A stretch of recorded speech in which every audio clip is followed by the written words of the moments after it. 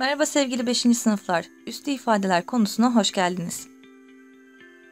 Şimdi üstü ifade nedir? Üstü ifade dediğimiz ifadeler arkadaşım bir sayının kendisiyle tekrarlı bir şekilde çarpımına biz ne diyormuşuz? Üstü ifade diyormuşuz. Bizim üstü ifadelerimizde aşağıda yazan sayı taban diyoruz. Yukarıda yazan sayımıza ise üst ya da kuvvet şeklinde isim söylüyormuşuz. Bizler aynı sayıyı tekrar tekrar çarpıyoruz. Unutmayın. Mesela burada 7'yi 4 sefer yan yana yazmışım. O zaman diyoruz ki 7'yi yazarız. Kaç sefer yazdığımızı, kaç sefer tekrarladığımızı ne yapıyoruz arkadaşım? Üstündeki sayıyla belirtmiş oluyoruz. Ayrıca bizler çarpma işlemini sadece çarpı olarak değil de gençler bu saatten sonra artık noktayla da göstermeye başlayacağız. Yani bizim için 7 çarpı 7 ile 7.7 birbirinin aynı işlemler. İkisinde de çarpma işlemi yapıyoruz diye belirtiyoruz. O zaman ben 7 üssü 4 işlemini gösterirken ne yapabilirim? Çarpılar yerine her bir çarpı yerine nokta koyarak da bu işlemi gösterebiliyormuşum. Şimdi bizim özel isimlerimiz var, özel okunuşlarımız var. Bu sene karesinden ve küpünden sorumluyuz. Ancak ben genel itibariyle bütün okunuşlarını size öğreteceğim. En çok karşınıza çıkacak ifadeler karesi ve küpü. Peki nedir bu karesi ve küpü? Bir sayının kendisiyle çarpımına biz karesi diyoruz. Yani 5'in 5 ile çarpımı 5'i kaç kere tekrarladım yukarıya yazdım 2 dedim. Demek ki ben şu ifadeye ne diyormuşum? 5'in karesi diye ifade ediyormuşum. Ya da 7 çarpı 7 ifadesi. Şimdi ben 7'yi tekrarlayıp durdum. Kaç kere tekrarladım? 2 defa. Eğer şu yukarıda 2 yazıyorsa arkadaşım ben ne diyeceğim bu üstü ifadeye? Aşağıdaki sayının karesi diyeceğim. Yani 7'nin karesi oldu. Ya da 146 olsaydı 146 çarpı 146'dan bahsediyorsam 146'yı yazdım. Çünkü hep onu tekrarlayıp durdum. Peki kaç kere tekrarladım? İki defa. İşte yukarıda iki yazdığı anda bu arkadaşın astrolist sahne ismi ne olacakmış? Karesi olacakmış. Kimin karesi? 146'nın karesiymiş. Küpü neymiş peki? Bir sayının kendisiyle iki kere tekrarlı çarpımına biz ne diyormuşuz? Küpü diyormuşuz. O zaman ben sayımı ne yapacağım? 3 sefer yan yana yazacağım. Aynı şuradaki 5 örneğindeki gibi 5 çarpı 5 çarpı 5 yani 5'i tekrarlayıp durmuşuz. Kaç defa? 3 defa. Yukarıda 3 sayısını gördüğün zaman bu arkadaşın astrolist ismi ne? neymiş? Küpmüş. Yani 5'in küpü diyecekmişim. Ya da biz kendimiz örnek verelim. 7 çarpı 7 çarpı 7 deseydim arkadaşım 7'yi tekrar edip durdum. Kaç kere tekrar ettim? 1, 2, 3 üstüne 3 yazıyorum. Şurada 3 gördüğüm anda ne diyorum? Aşağıdakinin küpü diyecektim. Yani 7'nin küpü olmuş oldu. Tablodaki örneklerimize bakalım. Bize ne vermiş? 7'yi 2 defa çarpmış. 7'yi 2 defa çarparsa ne diyorduk? 7'nin üstüne 2 yazmamız gerekiyor demiştik. Okurken de ne diyorduk? 7'nin karesi şeklinde okuyorduk. Ya da 4'ü ne yapmış? 1, 2, 3 sefer tekrarlamış. O zaman üstüne 3 yazıyorum. Tekrar sayısını yazıyorum ya. Ardından yukarıda 3 görürsem ne diyordum? Küpü diyordum. Kimin küpü? 4'ün küpü olduğunu unutma. Onu ne yapmış? 3 kere tekrarlamış. O zaman onun üstüne 3 yazıyorum. Ardından bu sayıyı okurken ne diyorduk? Onun küpü şeklinde özel ismiyle, astrolist ismiyle okuyorduk. Bu arkadaşların değerlerini bulmak istiyorsak gençler ne yapacağız? El mahkum şuradaki çarpım şeklinde olanların sonucunu bulacağız. 7 kere 7'den işlemin sonucunu 49 bulmuş bulmuş. 4 kere 4 16. 16 kere 4'ten işlemin sonucunu 64 bulmuş. 10 kere 10 100. 100 kere 10'dan işlemin sonucunu 1000 bulmuş diyoruz. Peki biz diğer üslü ifadeleri nasıl okuyacağız? Yani her zaman karşımızda sayının üstüne 2 ya da sayının üstüne 3 gelmeyecek. Biz genel geçer olarak nasıl okuyacağız? İki farklı okuma şeklimiz var. Birincisi arkadaşım üstü şeklinde okuma. Okurken ne yapacağız? Öncelikle tabandaki sayıyı söylüyorum. Ardından üstü diyorum. Ardından üstündeki ifadeyi okuyorum. Hemen bakıyoruz. 7 üssü diyorum. Ardından yukarıdaki sayıyı yani 9'u söylüyorum. Hemen okuyalım bakalım. Karesi ifadesi bak normalde bu. 3'ün karesi derdin özel isim, astrolist ismi olarak. Peki normalde okuyacak olsan 3 derim. Üssü derim. Ardından 2 derim. 3 üssü 2. Peki sen 3 gördüğün zaman ne diyordun? Küpü diyordun. 2'nin küpü demek yerine astrolist sahne ismini kullanmak yerine normal okuyacak olursan ne diyorsun? Öncelikle tabandaki sayı olan 2'yi söyledin. Ardından ezbere üssüyü söyledim. En sonunda ne yapıyorum? Üstteki ifadeyi söylüyorum. 2 üssü 3 şeklinde de bu ifadeyi söyleyebiliyormuşuz. Sınav kağıtlarında ya da test kitaplarında demek ki sen 3 üssü 2'yi de görsen 3'ün karesi de desen ne olacak? Doğru olacak. Ya da 2'nin küpü desek ya da 2 üssü 3 desek de ne olacak? Do- doğru olacakmış. Her iki ifade de doğru okunuştur. Unutmuyorsun. Bir başka okunuş şeklimiz daha var. Kuvveti şeklinde okuma. Kuvveti şeklinde okurken aşağıdaki sayıyı söylüyoruz. Ardından yukarıdaki sayıyı inci inci ekleri getirerek söylüyoruz. En son kuvveti diyoruz. Örnek göstermişiz. 7'nin dedik 9. kuvveti diye bahsettik. 2'nin 3 kuvveti dedik bitirdik. Normalde sen buna ne derdin? 2'nin küpü derdin ya da 2 üssü 3 derdin. Artık bir de ne diyebiliyormuşsun? 2'nin 3. kuvveti diyormuşsun. Ya da mesela normalde sen buna 3'ün karesi derdin. Neden? Yukarıda 2 olduğu için. Peki şimdi nasıl okuyacağım? 3'ün ikinci kuvveti şeklinde okuyorum. Aşağıdakini söylüyorum, yukarıdaki sayıyı söylüyorum, ince ince ekleri getiriyorum. Ardından kuvveti diyorum, unutmuyorsun. Bu arkadaşa sen 3'ün karesi desen doğru. 3 üssü 2 desen doğru. 3'ün ikinci kuvveti desen doğru. O zaman bizim sayımızın üstünde 2 ya da 3 şeklinde ifadelerimiz varsa bizim 3 farklı okuma şeklimiz varmış. Diğer sayılarımızda böyle bir özellik yok. Yani ben 7'nin 9. kuvvetini en fazla 7 üssü 9 şeklinde okuyabilirim. Burada okuma şansım iki farklı şekilde oluyor. Ancak karesi ve küpünün özel isimleri olduğu için bu arkadaşları üçer farklı şekilde ne yapabiliyorum? Okuyabiliyormuşum. O zaman sen sınavlarda, kitaplarda gördüğün zaman şaşırmıyorsun. 3 farklı ya da 2 farklı okumada ne olacak? Doğru olacakmış. Hemen bakalım bize demiş ki aşağıda verilen ifadelerin sayısını e, karesi küpü olarak gösterin bize demiş. Yani bize rakamla üst ifadeyi belirtin diye söylemiş. 5'in karesinden bahsediyorsam karesi demek sayının üstünde 2 var demek değil miydi? Sayımız ne? 5. O zaman üstüne ne yapıyorum? Hemen 2 koydum. 6'nın küpü küp demek 3 demek değil miydi? Evet. O zaman hemen 6'yı yazdım. Üstüne küçücük bir 3 yazıyorum. 3'ün karesi karesi demek 2 demekti. 3'ü yazdım. Üstüne hemen küçük bir 2 yapıyorum. 4'ün küpü küp demek 3 demekti. 4'ün üstüne küçük bir 3 yazdım. Karesi demiş 6'nın 6'yı yazdım. Üstüne küçük bir 2 yazdım. 7'nin küpünden bahsetmiş. Küp demek 3 demekti. E, ne yapıyorum? 7 yazıyorum. Üstüne küçük bir 3 yazıyorum. 7'nin küpünü oluşturmuş oluyorum. Devam edelim demiş ki aşağıdaki ifadeleri bir sayının karesi küpü şeklinde yazınız demiş. Bize bu sefer çarpım halinde vermiş metin olarak değil de. Şimdi bakalım arkadaşım ben hangi sayıyı tekrarlayıp durmuşum? 5'i tekrarlamışım. Peki kaç kere tekrarladım? 2 defa tekrar sayısını yukarıya yazıyordum. O zaman 5'in karesi oldu. 5'in karesi diye de yanına belirtelim karesi yazdık. Peki devam edelim. Şimdi hangi sayıyı tekrar edip durdum? 4. Peki 4'ü kaç defa tekrar ettim? 3. O zaman üstüne 3 yazdım. 3 görünce ne diyorduk? Küp diyorduk. O zaman bu nedir? 4'ün küpüdür arkadaşım. Devam edelim. 6 var. 6'yı kaç kere tekrar etmişim? 3 defa. O zaman bu sayı ne diyorduk? 6'nın küpü diyorduk. Devam edecek olursak 8. 8'i kaç defa tekrar ettim? 2 defa. 2 gördüğüm zaman ne diyordum? Karesi. O zaman 8'in karesi diye belirtiyorum. Devam edelim. 1 vermiş. 1'i kaç defa tekrarlamış? 3. O zaman bu ne olacak? 1'in küpü olmuş olacak. 2 vermiş. 2'yi kaç defa tekrar etmiş? 3 defa tekrar etmiş. O zaman 2'nin ne olacak? Küpü olacak. Devam edelim. 10 var. Onu kaç defa tekrar ediyor? 2 defa. 2 gördüğün zaman karesiydi. O zaman diyoruz ki 10'un karesi arkadaşım. Peki son örneğimiz 10 vermiş gene. Peki onu kaç defa tekrar etmiş? 3 defa. Yukarıda 3 görünce ne diyorduk? Küpü diyorduk. O zaman diyeceğiz ki onun küpü deyip bitireceğiz. Karesi küpü şeklinde okumasaydım Başka ne şekillerde okuyabilirdim? Onlardan da bir minik bahsedeyim. Son iki örnekte ben onun karesi demek yerine 10 üssü 2 diyebilirdim. Ya da onun ikinci kuvveti de diyebilirdim. Ancak bana illa karesi küpü diye oku demiş. O yüzden yazmadım. Ya da son örneğimizde onun küpü yerine 10 üssü 3 diyebilirim. Ya da onun üçüncü kuvveti de diyebilirdim. Ancak yine dediğim gibi karesi küpü şeklinde okuyup yazın dediği için ne yapıyoruz biz? Sadece onları belirtiyoruz.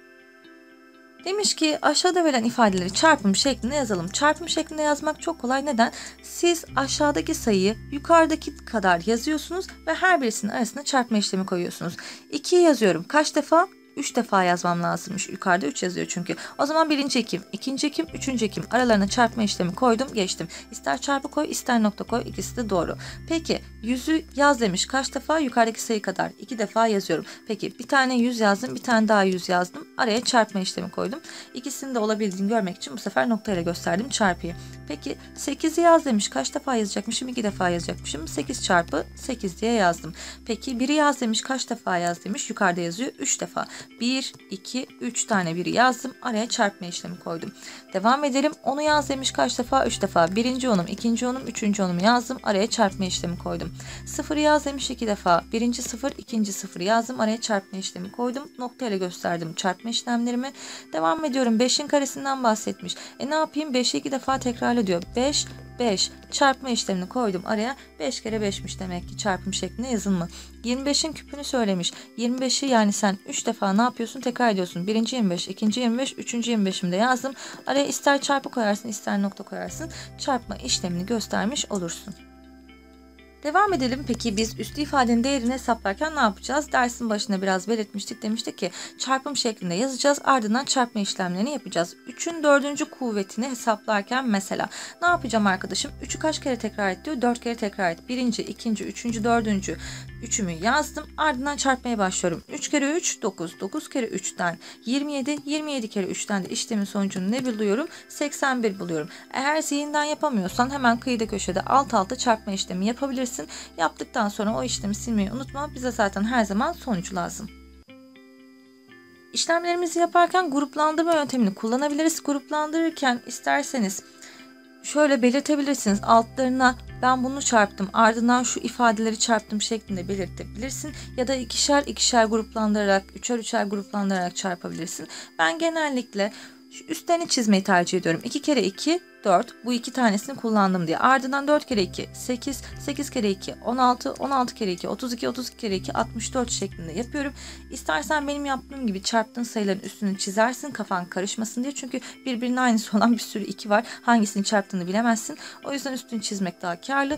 Ya da gruplandırma işlemi yaparsın. Ya sırasıyla çarptığını gö e, göstermek için alt alta işlemlerini göstererek çözmeye çalışırsın. Ki bence zahmetli ve zaman kaybı. Bunun yerine gruplandırarak çarpma yapmanı tavsiye ederim. Ama bunda da hata payı var. O yüzden en en kolay yöntem zihinden hızlı hızlı sile sile ne yapalım sayıları çarpalım derim.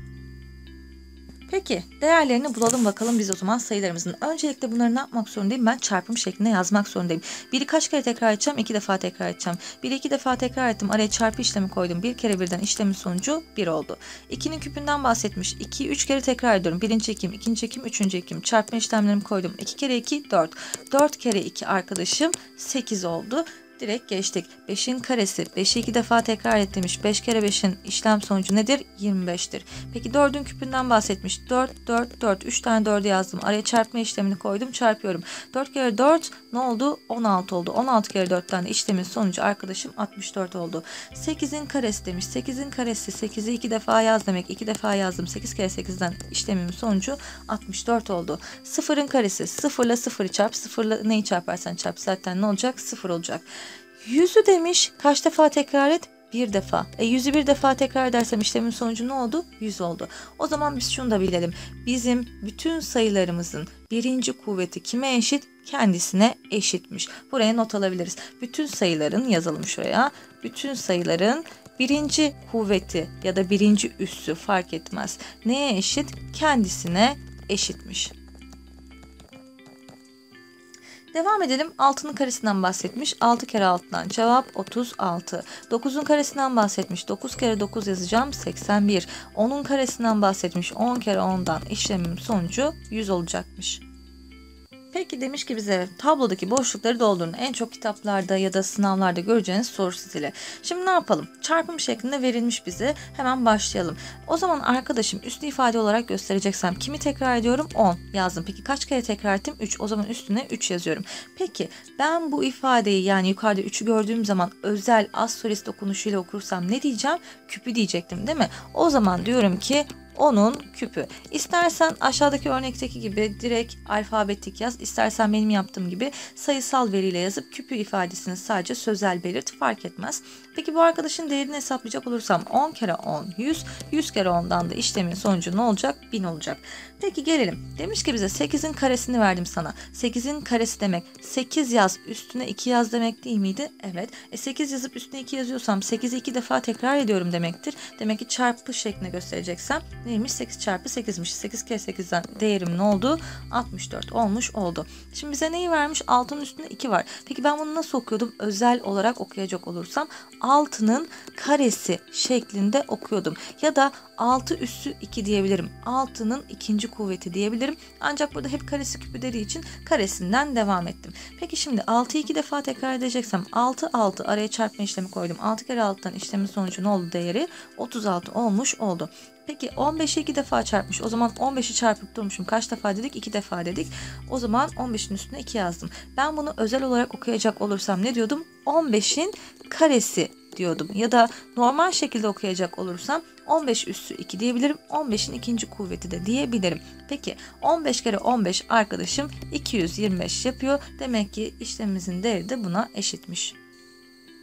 Gel gelelim bize bazen de diyecekler ki biz size bir değerler verdik. Sizler bu sayıların bazen kuvvetlerini bazen tabanlarını bulun diye işlem yaptıracaklar. Şimdi düşünüyorum 49.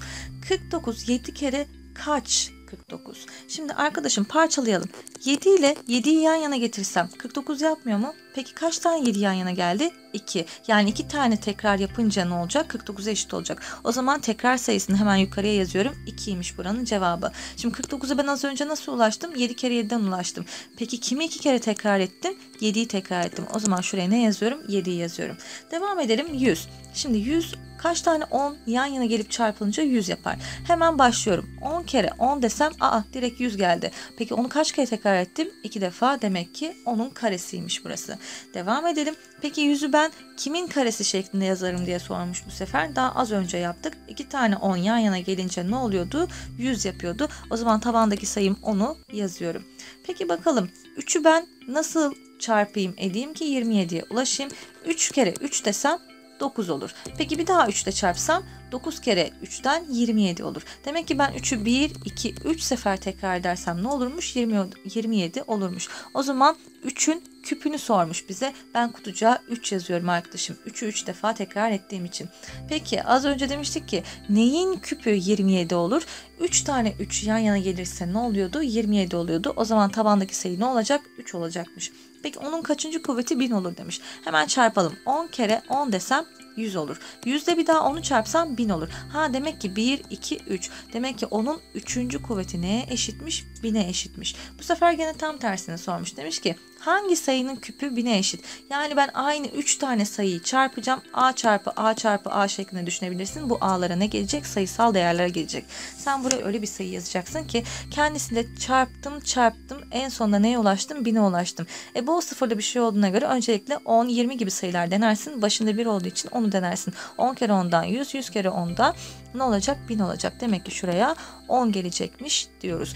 Bunlarla ilgili ne kadar çok örnek çözerseniz o kadar rahat edersiniz. Çünkü bunlar da çarpım tablosu gibi bir yerden sonra ezber işlemler oluyor. Peki biz üslü ifadeleri öğrendikten sonra 4 işlemi de rahatlıkla yapabiliriz. 4 işlemi yaparken ne yapacakmışız bize not demiş. Üslü ifadelerde işlem yaparken ne yapıyormuşuz? Öncelikle üslü ifadenin değeri buluyoruz. Ardından da işlemi yapıyormuşuz. E işim kolay o zaman. Peki hemen şu 3'ün karesiyle başlayayım. 3'ün karesi demek 3'ü 2 sefer tekrar et demek değil mi? Hemen tekrar ettim. 3 kere 3'ten o zaman buranın sonucu nedir? 9'dur. Peki 4'ün karesi demek 4 kere 4 demek değil mi? Evet 4 kere 4'ten bu işlemin sonucu nedir? 16'dır. O zaman ben 3'ün karesi gördüğüm yere 9, 4'ün karesi gördüğüm yere 16 yazdım. Aradaki toplama işlemini koydum. 9 ile 16'yı toplarsam işlemin sonucu ne oldu? 25 olmuş oldu. Şimdi gelelim diğer sorumuza. 0'ın karesinden bahsetmiş. 0'ın karesi 0 çarpı 0 demekti. Yani 0. 5'in karesinden bahsetmiş. 5 çarpı 5 demekti. 5 kere 5'ten 25. Bu ikisini toplayacakmışız. Yani yani sıfırın karesi gördüğüm yere 0 yazıyorum. 5'in karesi gördüğüm yere 25 yazıyorum. Peki 0 ile 25'i toplarsan tabii ki işlemin sonucu ne olur? 25 olur. 10'un karesinden bahsetmiş. 10 çarpı 10 demek istiyor. 10 kere 10 işlemin sonucu nedir? 100'dür. 6'nın karesi 6 kere 6'dan işlemin sonucu nedir? 36'dır. O zaman ben 10'un karesi gördüğüm yere 100 yazdım. 6'nın karesi gördüğüm yere 36 yazdım. Aradaki çıkarma işlemini uyguluyorum. 100'den 36 çıkarsa arkadaşım işlemin sonucu 64'e eşitmiş. Evet sevgili 5. sınıflar, üslü ifadelerimizin de sonuna geldik. Sizler okul kitaplarınızdan ve test kitaplarınızdan bu konuya ilişkin bol bol örnek çözmeyi unutmayın. Kanalıma abone olun ve beğenmeyi de lütfen unutmayın.